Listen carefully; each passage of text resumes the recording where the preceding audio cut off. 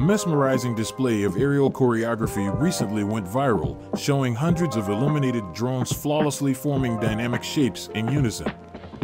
This remarkable demonstration of swarm technology highlights the vast potential of drones. But in the wrong hands, drone swarms could also enable terrifying new threats. As innovation races ahead, how can we ensure it elevates humanity? Decentralizing the skies, can blockchain transform air traffic control? Advanced technologies like coordinated drone fleets provide new capabilities that capture the imagination.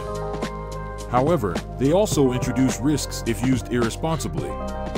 While thrilling in an entertainment context, weaponized drone swarms could inflict catastrophic damage. As drones and automation reshape industries like logistics and defense, ethical oversight is imperative. The promise of technology must be balanced with wisdom to avoid unintended outcomes.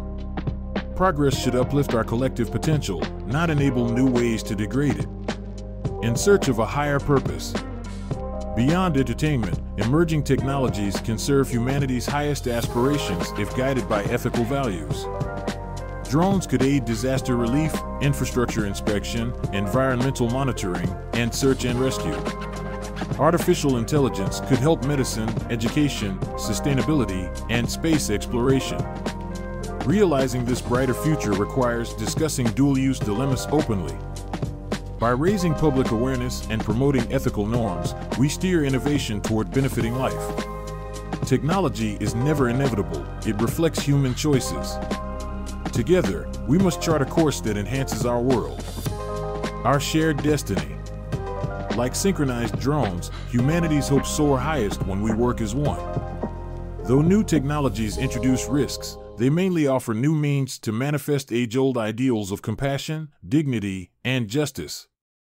Our shared future is not written, it is crafted daily through millions of hands aspiring in common purpose.